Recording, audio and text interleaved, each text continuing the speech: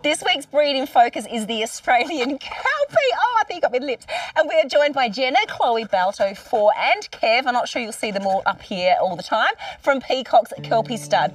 Bred for herding, they are Australia's most popular working dog and thrive when they're working on the land. I've always had a soft spot for Kelpie. They're extremely loyal and devoted to their family. They're affectionate, as you can see, and friendly. They're great with children and other dogs, and even cats if they're raised with them from puppyhood. But don't be surprised if they hurt other pets and even the children, because they just don't seem to be able to shake that habit. No, Darcy's always being herded by Kelpies. they are a tough and tireless working dog with extremely high energy levels and aren't well suited for suburban living unless you're highly committed to channeling their energy and desire to work and into suitable activities. They are highly trainable and very alert, eager to learn, and so they excel at obedience, herding, agility, and many other dog sports.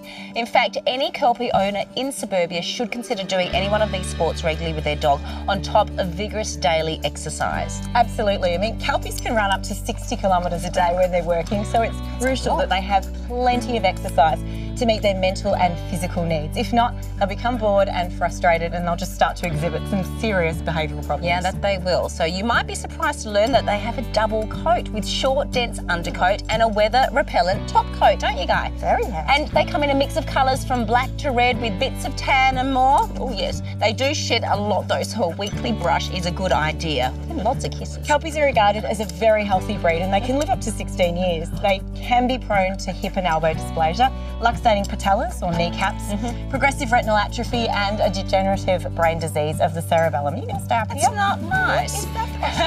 There's certainly a breed, though, that you need to consider very carefully to ensure that you are able to meet their high drive needs. We cannot stress how important this is. Absolutely, and there are places that you can take them to to do their job, their herding job. That's right, all around Australia. So make sure if you get one that you really do consider this.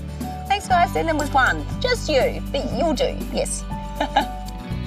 To learn how HIF pet insurance can help your pet in times of need, visit hif.com.au.